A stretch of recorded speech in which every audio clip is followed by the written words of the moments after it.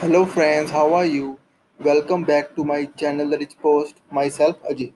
Hope you all are doing good. So friends, very first I will say stay home, stay safe and do coding because coding is the best. Like always. So friends, in this working video, I'm going to start Angular 10 CRUD tutorial series. And in this, I will show you add user CRUD tutorial. So friends, on my screen, you can see Angular 10 is working fine. Also with simple bootstrap form. So friends, before starting, I must say please watch the video till the end and please subscribe my channel for latest Angular 10 updates. So friends, now I'm going to press the submit button. Validations came. Now I'm going to fill the fields.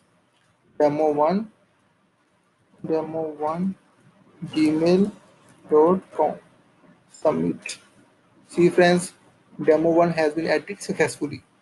Okay fields cleared. Now we will check database. Demo1 has been added. Now i will add one more. Demo2 demo2 at gmail.com submit look demo 2 has been added successfully.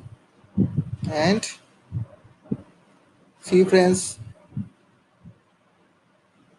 the data is going perfectly into MySQL database. So friends this is it.